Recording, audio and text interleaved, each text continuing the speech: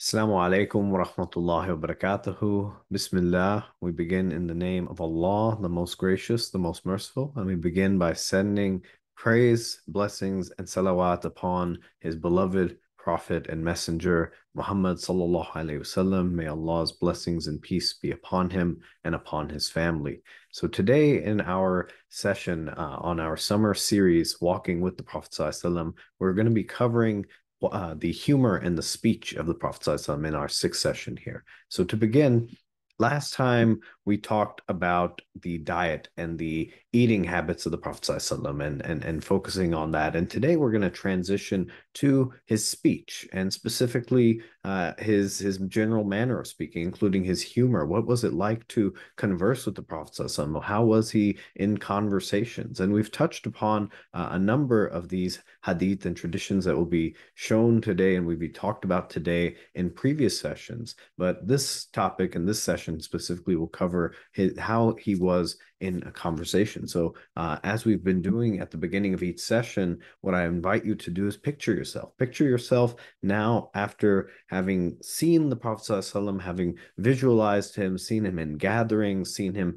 interacting with other people, uh, getting a chance to observe him, sitting with him, following him, being in his presence. Now, let's pretend and let's imagine that we are uh, having a conversation with him. We're having a one on one conversation so we can observe how he speaks, how he engages us in conversation, and how he generally is in uh, with regards to his humor and speaking. And oftentimes, when we think about the Prophet, uh, because we we can automatically just assume and we know his speech being a a very distinguished and very uh, distinct speech in that it's it's it's flawless. It is one that uh, does not uh, bring any kind of perversion or, or deviation. It's one that that uh, invites you and one that brings you closer to God in, in, in all sense of that. But we oftentimes sometimes don't see the humanity in the process of speech, and specifically with regard to his lightheartedness, which is covered in uh, the Shama'il in its own chapter. So uh, as we mentioned, we're going through uh, hadith that are covered uh, exclusively in, not exclusively in, but but are just from the Shama'il. Um, so we're not you know pulling from any other kind of source here. We're just focusing on what is covered in the Shama'il at-Tirmidhi, um, and we may mention some other hadith that may be uh, you know cited elsewhere, but this is primarily focused here. Um, and there's a chapter in uh, the Shama'il at-Tirmidhi that covers the lightheartedness of the Prophet but also his humor and uh, sorry, also his general speech. And so to begin, with the narrations here, uh, we begin with the wife of the Prophet, Aisha radiallahu anha, who shares that the Messenger of Allah would not draw out his speech as you all do, referring to being uninterrupted or uh, with haste when, when people are speaking, that he would not draw out his speech as you all do. He would speak clearly, he would speak lucidly, and he would space out his words.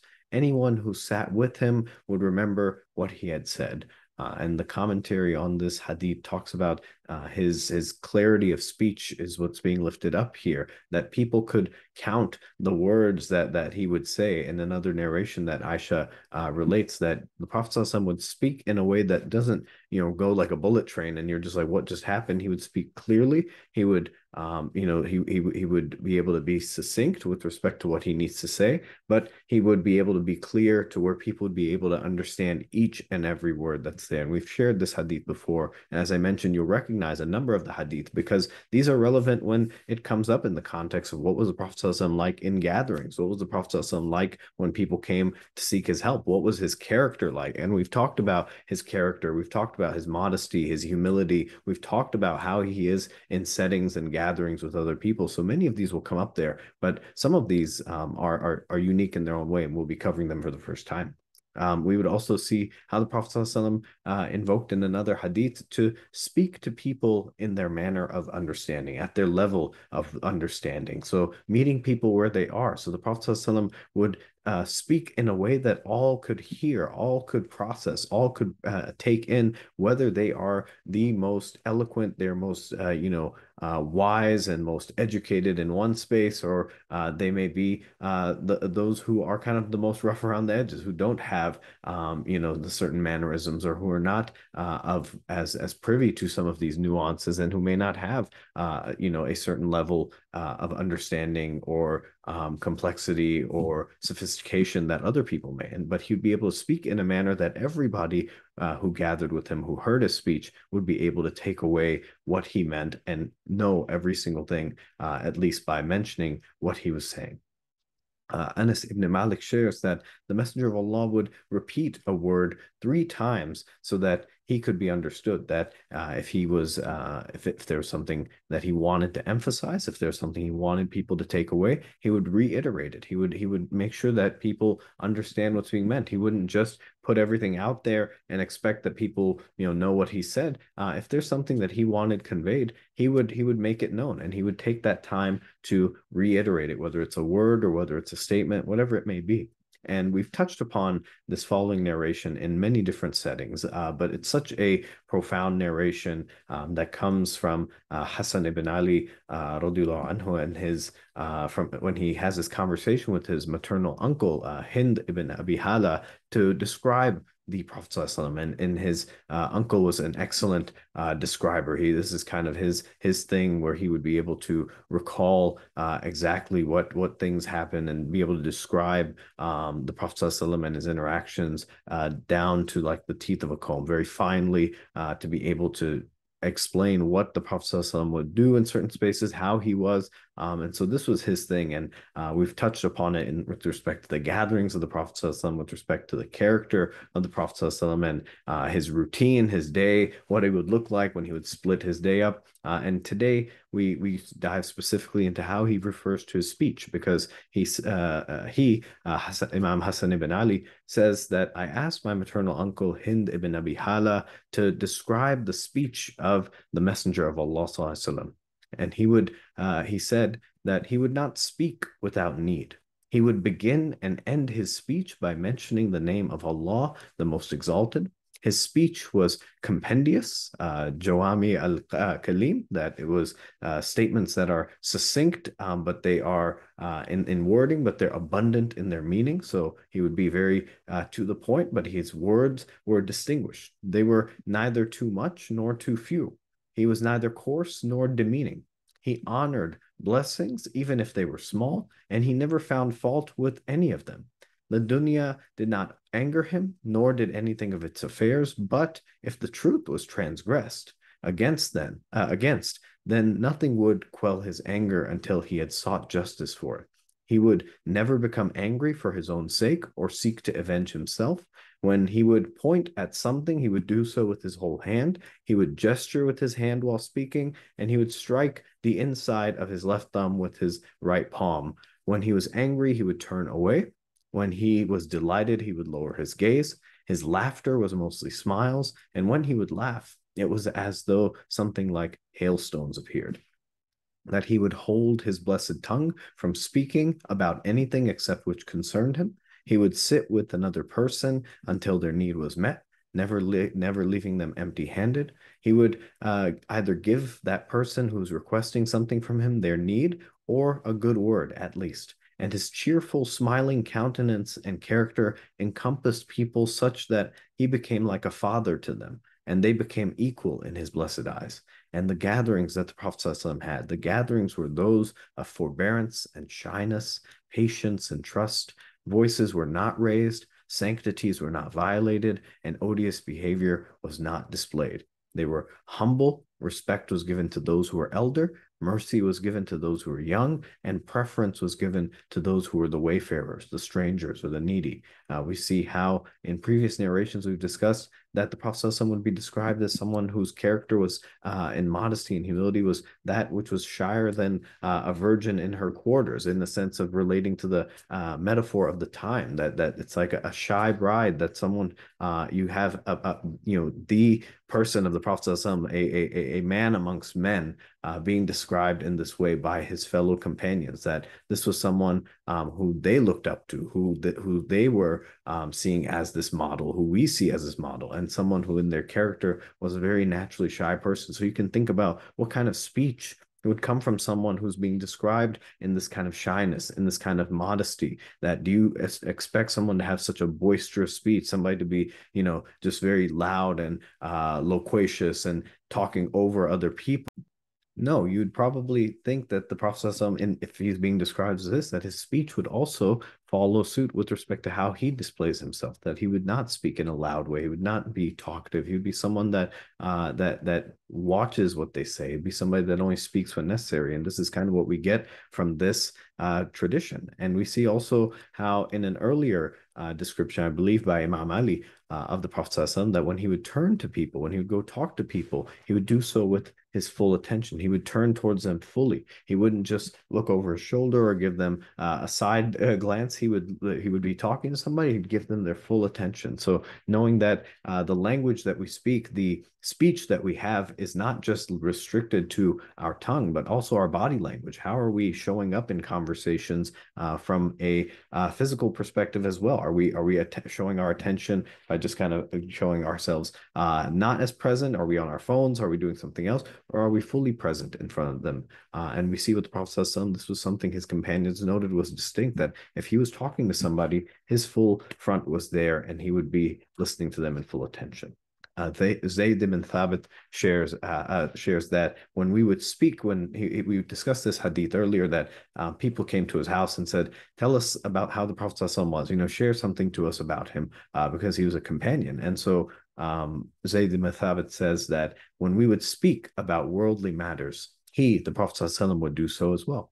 When we would speak about the hereafter, he, the Prophet ﷺ, would do so as well. And when we would speak about food, he would do so likewise, seeing that the Prophet was was a a, a a normal human being. He was he was someone who, uh, despite being the Prophet of Allah, despite being rahmatul alameen, despite being the uswatun hasana, the, the greatest model to walk the earth, he was someone who still was a human being and lived through the human experience. He experienced hunger. He experienced the world. He had opinions. He was someone who, uh, you know, could meet people and talk to them about things relevant to them. He wasn't just someone who was solely in, in a spiritual space and, and people only saw him in just this regard. He was the prophet of Allah, but he was also someone he, that could talk to them about what concerned them in their life and relate to them because he too lived in that same world. He wasn't separated from it. Amr ibn al-As shares that uh, Allah's messenger used to speak directly with the worst of people, thereby winning their hearts. And he used to do the same to me so that I thought I was the best of people. So again, imagine ourselves, we're in this conversation with the Prophet. He has a very shy um, kind of posture. He's, he's, he's modest. He's not speaking out of turn. He's talking about what we might like to talk about. And we're, we're having this conversation, but he's also making us feel, apart from the body language, he's making us feel as if we are the most important person to him uh, and and for him at this moment. And and that kind of uh, importance that's given thinking about the psychology that goes behind it when you feel really heard when you feel like this person really cares about me. This person i might be the most beloved person to this to this person. Just imagine the facial expressions they may show the the smiles that they may give the uh, the uh, affirmation they may give for you to feel so validated in that moment. And this is what the prophet would give to anybody that would come to them uh, with requests or just to be able to talk to him, that they would feel that they are the most beloved. Anas ibn Malik shares that I served Allah's messenger for 10 years and never once did he say oof to me. Never once did he express any kind of expletive or frustration in, in, in a manifested way. Um, he never asked me about something I had done, saying, Why did you do it? Nor something about I had left undone, saying, Why did you leave it undone? Allah's messenger was the finest of human beings in character. Again, we've talked about the Prophet's character, but think about specifically in the context of speech. Prophet was not one to use profanity. Prophet was not one to uh, express that frustration in such a way to uh, belittle anybody or, or express it in a manner when we say oof you know it's, it's like you know this kind of frustration um, we see it you know oftentimes come out uh, when we uh, you see in, in our society uh, when when people use certain other people's names in vain or uh, you know certain holy figures names in vain and whatnot we, we don't see this with the prophet and that he wouldn't be someone that would be aggressive. He wouldn't be someone that would be pestering uh, in this way. You know, Anas ibn Malik was a child that was sent to serve um, the Prophet and help him out from his family uh, and to be able to just kind of um, help him with, miscellaneous tasks or things that were needing to be done, any chores. Uh, and, and the Prophet being, you know, uh, an older kind of uh, person in this regard and person of authority didn't mistreat this child didn't didn't even uh, express any kind of frustration. And to the counter when we see different reports we see how the prophet actually would um, encourage the children to be able to play together. Would would uh, when he would send Anas out for a task and if Anas became distracted um, he would go and uh, he would just have uh, he would just tease Anas. He would he would come in and in a humorous way saying that well you know you didn't finish the task that I, I told you and he would just come and uh, jo- joyfully be able to interact with them. He wouldn't be harsh like we sometimes often see uh, in our spaces where this may happen. And so thinking about how the Prophet's character also informed his speech and just getting that imagination going as well when we're sitting with the Prophet. Aisha relates that uh, Allah's messenger was neither obscene nor lewd in behavior nor disposition, um, nor was he boisterous in the markets, and he would not repay a misdeed with a misdeed, but he would pardon and forgive. Again, just building off of what we had last time here.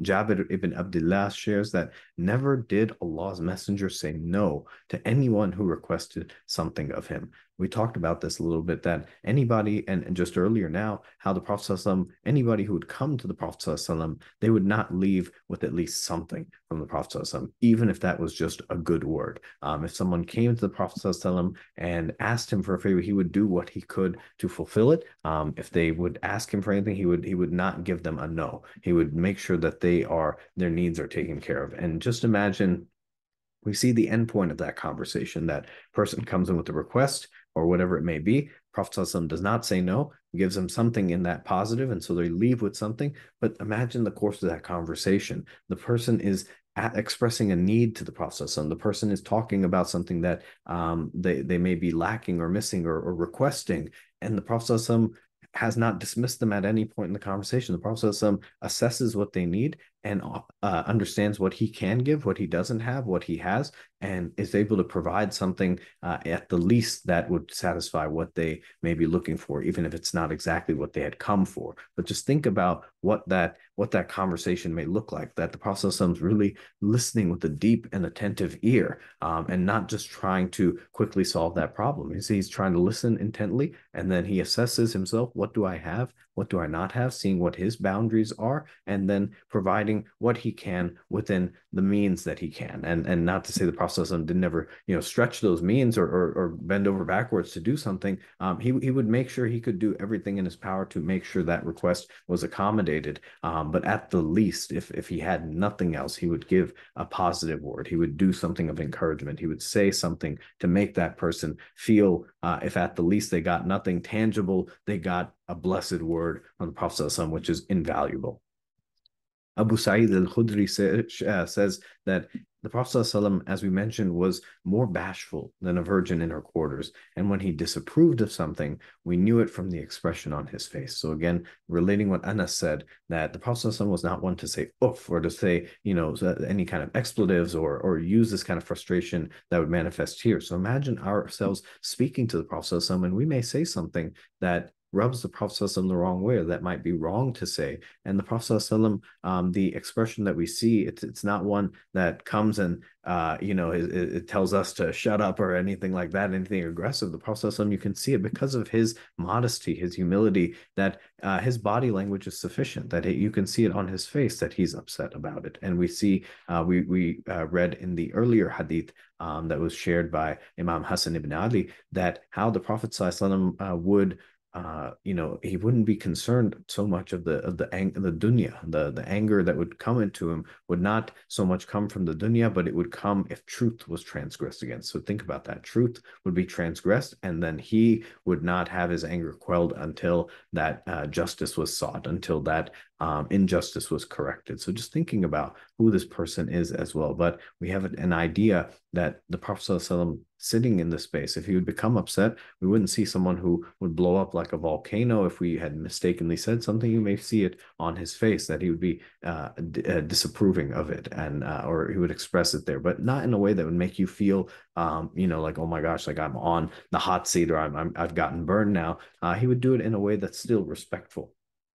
Abdullah ibn Harith ibn Jas shares that um, I had never saw anyone who smiled more than the Messenger of Allah. Again, thinking not this is without even speaking that you have someone uh, of the Prophet who the people know is just someone who's smiling. He's always he's a cheerful, happy person. And imagine him in the conversations you're having. That when you have this person, this is someone that is a positive energy. So when we first have that sit down conversation with Prophet, we can imagine just that positive energy walking into the room and just kind of being in the room. Uh, Jabir, Jabir ibn Samura shares that his laugh was only that of a smile.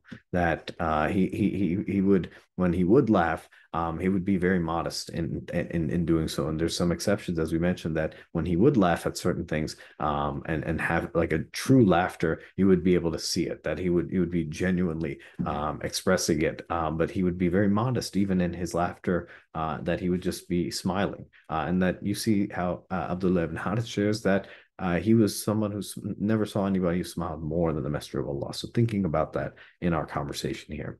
So Jarir ibn Abdullah shares that, uh, sorry, Jarir ibn Abdullah shares that from the time I embraced Islam, the Messenger of Allah did not prevent me from seeing him, nor did he see me except that he would laugh or he would smile thinking about um, this as well that uh, the Prophet ﷺ would be able to meet this companion, meet the Sahabi, and he uh, doesn't see him except that he would laugh, he would smile, he would always be positive with this person. And of course, the Prophet ﷺ meeting everyone where they are. It's not that he would treat every situation as a joke, but um, there were uh, he he would have um, he would meet everybody with respect to where they may be emotionally. If you came to the Prophet ﷺ with a great distress, with a great need or something, he wouldn't just laugh you off and just you know down downplay what you're going through. We shared the incident of the woman who came to the Prophet who uh, was known to have some kind of mental illness, was was kind of outcast in this regard. And she comes to the Prophet and says, I have a need. And the people around the Prophet are already thinking that this woman's kind of crazy. This woman is is not all there. Um, you know, why would you take her seriously? And the Prophet doesn't just ridicule her just you know doesn't say like like like to start laughing like oh okay yeah tell me what you need. The Prophet says point out any place you want to go and I'll meet you there. And let's let's talk about this and and give them that presence. So uh, thinking that the process and when he when when we see reports like this that he would obviously be the person that smiled the most and be the most joyful there but he would also be someone who would recognize the needs. He would be very situationally aware of the other person and be able to be present to them so that he's not just um, you know, just brushing them off in certain aspects, that he met everybody as they needed. Um, and uh, in his emotional expressions, he would be modest. He wouldn't be boisterous, even in his laughing or uh, in even in his anger. He would be someone who you could just just kind of tell, but he would be sure to meet people where they were. Uh, with respect to his humor, um, we see that uh, the uh, Prophet was someone who was a humorous person, but his humor was distinct. His humor was something that uh, we see um, the Prophet share or and, and talk about with respect to it being from a very modest standpoint, but uh, a few reports more about his laughter and how the Prophet would be someone who would be seen laughing and and and at times would be seen laughing in such a beautiful way that the companions would be just amazed because of his uh, his beautiful appearance, but also as we mentioned, you know, it's like seeing hailstones, it's like seeing um, you know just like snow, uh, like you know just seeing all these things um, coming from uh, the Prophet when he is smiling and he has all his thirty two teeth, you know, or show, so showing um, that he he's he's someone that it's as if we are just watching like a uh, a phenomenon. You're just seeing something so white and glistening um, when when this happens. And uh, Abu Dhar al Ghifari shares that Allah's Messenger uh, shares that uh, said that I surely know the first man who will enter the garden of paradise and the last man who will emerge from the fire of hell. The man will be brought forth on the day of resurrection and the command will be given show him his minor sins and let his major sins be hidden from him. He will therefore be told, On such and such day, you committed such and such and such and such sins. He will acknowledge his sins and not disavow them, and he will be fearful of those sins that are major offenses. So the command will be given in place of every bad deed he committed, grant him a good deed. He will therefore say, I am guilty of sins that I do not see here. Abu Dhar said that I saw Allah's messenger smile so broadly that his molar teeth showed. That you see uh, when the Prophet is also conveying uh, news, good news, and uh, traditions and and and parts of the faith. He's not doing so from a harsh perspective. He's not, even though he was a warner and he was someone that had a heavy message to bear. Um, and he he did narrate um, and share uh, uh, share uh, some gems that that would be uh, keeping people on their toes. Like if you in, in in one report, he said that if you knew what I knew, about you know the world and about uh, what is to come and about you know judgment and all that that if you knew what i knew you would cry plentifully and you would laugh little but we still see in when the Prophet is conveying wisdom, when he's conveying the deen, when he's conveying the tradition, it's not solely from a perspective of fear. It's not solely from a perspective of um, you know shame or anything like that. The Prophet also uh, conveys it from a positive lens. The Prophet also conveys it uh, in a way that people remember how he was when he was sharing it. We see that sometimes he fe- he felt distressed at times sharing a heavy report, uh, and other times when he would be sharing it he would be able to share it and and be so uh, smile and happy about it because um, of what what we what what the content is and what it what it may mean and and the mercy of Allah and uh, being positive about Allah and and being able to convey this eh, from a nuance and not just from one perspective or another. So we sometimes see that uh, in our community where we uh, are given a message and and talked about the faith and the religion and Islam, and oftentimes it's just from one lens. It's just from a uh, a shame based lens. It's from a negative lens. It's from a fear based lens. Uh, but then also on the flip side, it may only be from a positive lens. It may only be from one that that does not uh, talk about uh, some of the more difficult topics. It may be only from one space here. So the Prophet in his conveying of this, not just in his manner of speaking, but in his body language as well, in his emotions, would show the nuance that would go with it as well, that he would be able to show the balance that goes with conveying the message of Allah, the revelation, the teachings, and uh, aspects of the deen in this way. Uh, Ali ibn uh, Rabia shares that uh, I was pres- uh, present when Ali uh, may Allah be well pleased with him, had an animal brought for him to ride. And when he placed his foot in the stirrup, he said, In the name of Allah, uh, Bismillah. And when he settled back on, uh, settled on its back, he said, Praise be to Allah. And then he said, Glory be to the one who has placed this at our disposal, for he would not have been equal to the task. And to our Lord we are surely all returning. And then he said, Praise be to Allah three times, and Allah is supremely great three times. And then he said, Glory be to you. I have wronged myself, so forgive me, for no one forgives sins but you. Then he laughed. And so I said to him, What has made you laugh, O commander of the believers? Uh, oh, you know, Ali ibn Abi Talib. Um, and he said, I saw Allah's messenger. May Allah's peace and blessings be upon him. Do just as I did now after which he laughed. So I said, What has made you laugh, Rasulullah? And he replied, Your Lord surely marvels at his servant when he says, My Lord, forgive me my sins, knowing that no one but he forgives sins. And so again, talking, we, we see this report related about um, the fourth Khalifa of Islam, Ali ibn Abi Talib, and the beloved, um, you know, cousin of the Prophet Sallallahu uh, you see how uh, Imam Ali in this in this uh, narration relates um, you know the prayers that he's offering and how um, someone next to him here is is is marveling at uh, you know the, these prayers and and and and then he himself uh, you know started to laugh and you know has this repeat event of what just happened uh, with him and the Prophet and we see again just to the point we were making earlier how the Prophet was also um, in conveying the Deen in in modeling the Deen in talking about theology and sharing you know belief about Allah all these different wisdoms would not just do it from one lens would do something uh, would would be able to express himself emotionally he wasn't just that person who had a frown on and you know just always looked angry that this is the religious person he would be someone who uh, would would be able to to talk to people, meet them where they are, but also share his own emotion uh, when processing what he has just kind of heard. And we see even in in battle as well. Uh, we know the Prophet was not someone who was an aggressor, uh, was not someone who actively sought out um, battle and, and with respect to um, apart from it being from a defensive posture, apart only when Allah had commanded it. Uh, but we see even in battle, um, wh- which was something, as we mentioned, the Prophet did not desire. But even in battle, when things would be going abysmally or when things went well, uh, there are reports from uh, the likes of Sa'ad ibn Abi Waqqas that the Prophet, when he would uh, see, um, you know, a companion be able to uh, take down, you know, someone from the enemy side or uh, meet their target successfully, um, the Prophet would laugh, or the Prophet would be would be able to express his his emotion in those spaces. And so the Prophet being again a human being as well uh, apart from being uh, his stature and his daraja and his uh, who he is, um, he was still someone who would be able to have emotional reactions um, at, at, in these different moments uh, that so many of his other companions also went through.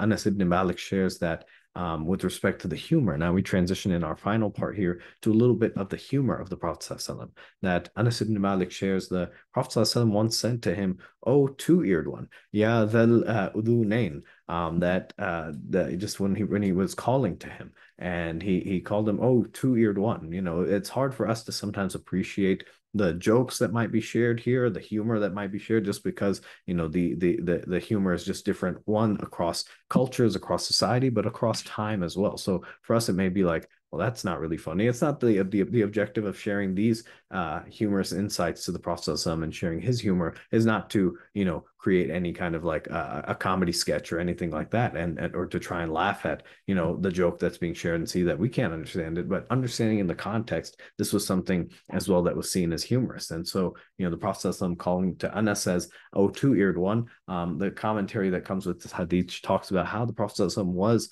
someone being lighthearted with Anas by calling him a name other than his actual name, which actually might have actually been a compliment due to Anas being uh, someone known as an attentive listener and being someone who's able to understand deeply. And we see a hadith that that helps to give a bit of a foundation to the Prophet's humor, where Abu Hurairah shares that the companions once said to the Prophet, You are lighthearted with us, O Prophet. And the Prophet replied, Yes. However, I only speak the truth. And you see, we oftentimes, when we think about humor, when we think about jokes, we, we may think about uh, a sketch we may have heard, we may have seen a, a movie or may have seen something that made us laugh, a video or whatnot. But oftentimes, how are how often are they grounded in 100% truth? How often do they maybe stretch the truth, or they may just tell a white lie, or they may just kind of go into that space? And the Prophet would engage in lighthearted speech, and everything he said would be truthful. And Imam Nawawi shares that the for uh, the forbidden and disliked kind of humor is that which is antithetical to this or is that which is kind of in excess is undignified is causing the heart to harden and it distracts an individual from their obligations and remembrance of allah it's the kind of humor that's unchecked that leads to hurting feelings of others, that leads to telling lies, that leads to exaggeration. And it's these kinds of jokes and it's these kinds of humor that can lead to real harm, um, not just uh, from a physical standpoint, but intrapersonally, socially, relationally, as well as spiritually. Uh, we see the Prophet would also have light intera- lighthearted interactions um, with children and not just with adults or anybody. Again, he would be a person that was dynamic. He was not a static individual. He would be able to meet people at their level of understanding. So imagine the Prophet um, talking to some children. And in this case, Anas ibn Malik relates that um, you know, he uh, the Prophet would lightheartedly interact with us, and he even once said to a younger brother of mine, "Oh, Abu Umair, what happened to the Nughair? Uh, and the Nughair refer, refers to a small bird. Uh, and in this context, the brother of Anas ibn Malik had a pet bird um, that had died and he was extremely upset. And so when the Prophet ﷺ came to visit the comforted little child, he spoke in a rhyme, in a gentle humor. So he said, uh, Ya Abu Umair, ma fa'ala nughair. That how, like, you know, how, what happened to the bird? Like, you know, he, you kind of see how Abu Umair ma fa'ala nughair, you know, he sees that, how, how, how are you kind of connecting? Um, you know, how are you doing? But be able to speak in a gentle way. Um, and just imagine the Prophet ﷺ coming and not dismissing this child. Uh, you know, they obviously uh, cared for this bird, cared for this pet. Um, and you see the Prophet ﷺ come and talk to this child in a way that he can connect with the child, but also in a way that just shows that he's not there as a 100% completely serious presence that's like, you know, intimidating. He's there just meeting the child and, and seeing how he can uh, help the child. And even if it's just by kind of sitting with him. Anas ibn Malik also relates that a man once asked the Prophet ﷺ for a mount. And the Messenger of Allah said to him, I will give you the child of a she camel as a mount. And the man said that, O Messenger of Allah, what am I going to do with the child of a she camel?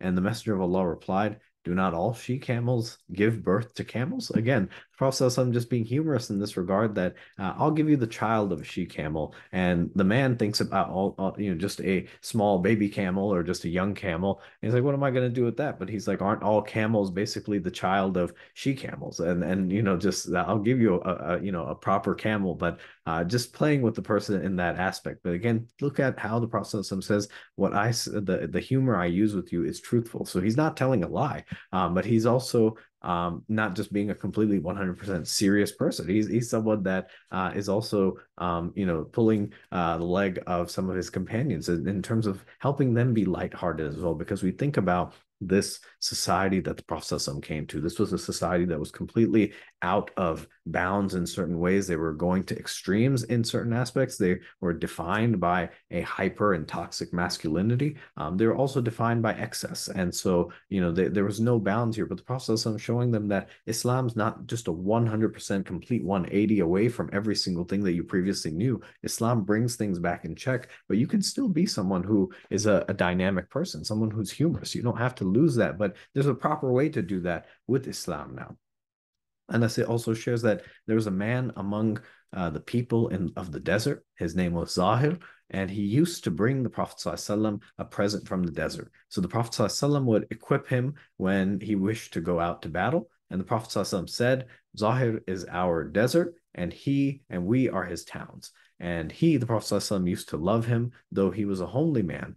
So the Prophet ﷺ came to him one day while he was selling his uh, his wares and his merchandise and embraced him from behind so that he couldn't see who it was. So imagine this Zahir is uh, selling things in in the marketplace and it's just you know doing you know out out doing his his uh, his personal trade and the Prophet ﷺ comes and embraces him from behind and and holds him from behind um, so that he couldn't see who it was. And so Zahir says, who is this? Like, let go of me. So, like, you know, he's he's being held and he's just like, what, what's happening? He's like, let go of me. And then he turns around and he recognizes the Prophet. ﷺ. And once he recognizes the Prophet, ﷺ, he keeps his back uh, pressed to the chest. He's like, all right, you know, this is the Prophet. ﷺ. Like, you know, this is this is fine. He's uh, you know, I I I love this person. And the Prophet ﷺ, uh, is holding this person and says, uh, uh, holding Zahir, and he says that who will buy this abd of mine? Who will buy this servant of mine? Um, as if he's he's he's he's he's just calling out to the people in, in a jest that who like you know he's in the marketplace. He's like, who's going to take this servant of mine? Who's going to buy this servant of mine?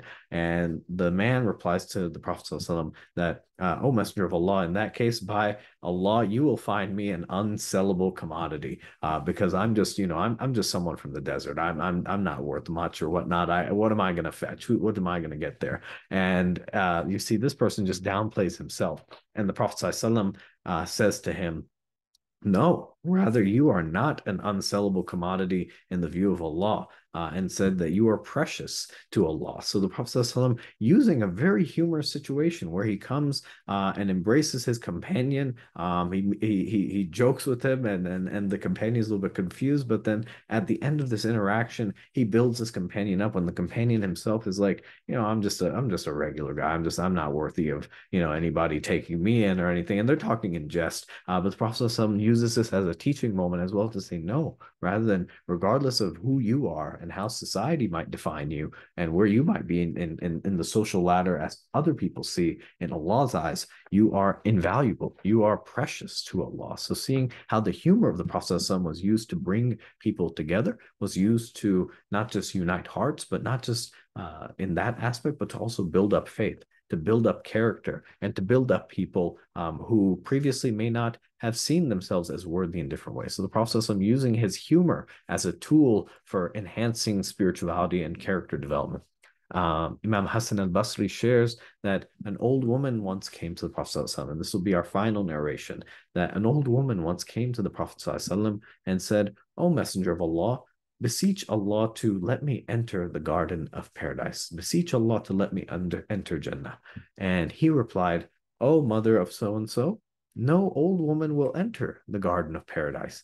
And she turned away weeping, obviously hearing this. She's like, oh my gosh. So he turns away weeping. And the Prophet says, no, no, no, no. Uh, you know, not, not, uh, you know, and, and it's, you know, not in that regard. He said that, uh, you know, oh mother of so and so, you will not enter it as an old woman, for Allah says in the Quran, we have created them a new creation and we've made them virgins, loving and equal in age, uh, and, and, and, and kind of meets her back. But you see, how the Prophet is also uh, in his humor uh, respectful, but also you can see as soon as that joke may go over somebody, or as soon as it may not be taken, uh, or as soon as it may not be understood properly, the Prophet goes in and fully clarifies. He doesn't just say, "Oh, uh oh," like you know what that uh, um, that person can't take a joke or anything like that. The Prophet immediately consoles this person. So um, you know this old woman comes to the Prophet and is asking him, "Please pray for me to uh, let me enter Jannah." And the Prophet just uh, from a humorous standpoint said,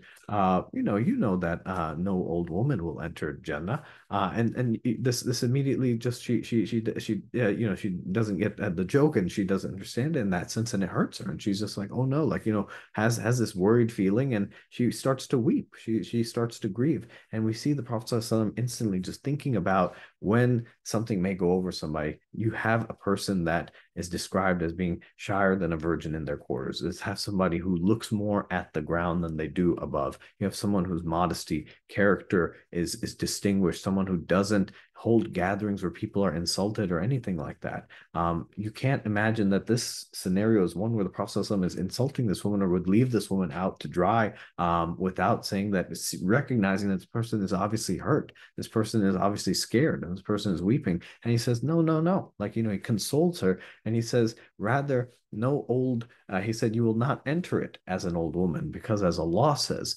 you will be there uh, brought out anew, as all of us will. Uh, and so he uses it as a point to make it. But we see even in this moment when uh, a joke may go over someone's head or when it doesn't get, uh, when it doesn't get, you know, registered as, as we may intend it, that we don't just leave it out there. We don't just assume something about that person, especially when it hurts them process on going in and talking to this person and saying no that's not uh you know like uh you know just kind of going to and helping to comfort that person uh, and and so uh, what this shows us is one, the Prophet was being humorous with people who were not just men. The Prophet was being uh, humorous with uh, miscellaneous women that would come seek his help in the in the community, or whether they were elderly or whether they were younger, um, and seeking his help or counsel. Um, we see this when he interacts in, in outside of the Shama'il al-Tirmidhi there's also the interactions that the Prophet has with Aisha in a very humorous way, interacting with her. Uh, we see the interactions with children and having the humor with them. And so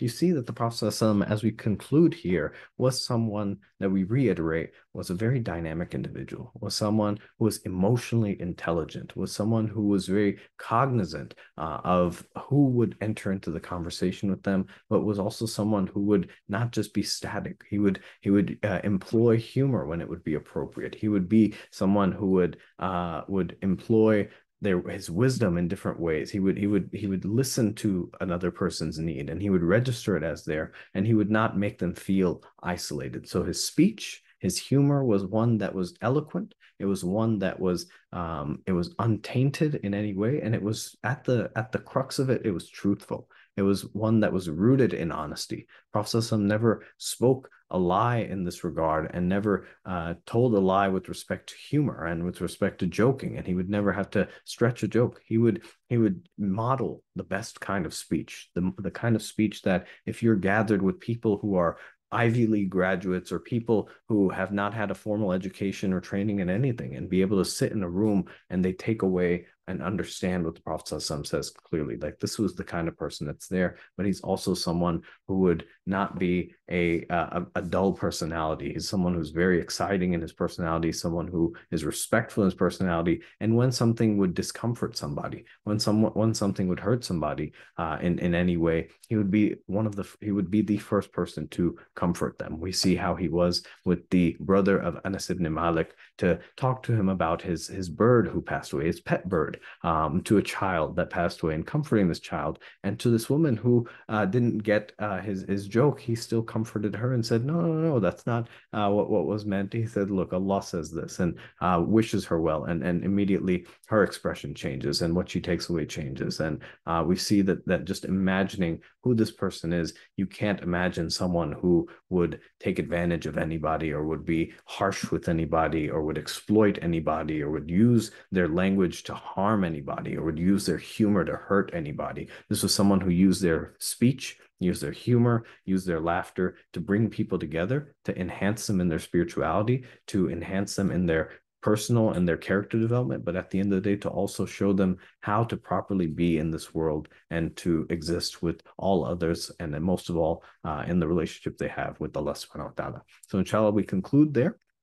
We have a few more sessions, a couple more sessions, inshallah, left in our series, but we're getting to the end. Um, it's been a privilege so far to be able to walk through this with you. And until next time, uh, we'll see you then. Assalamu alaikum wa rahmatullahi wa barakatuhu.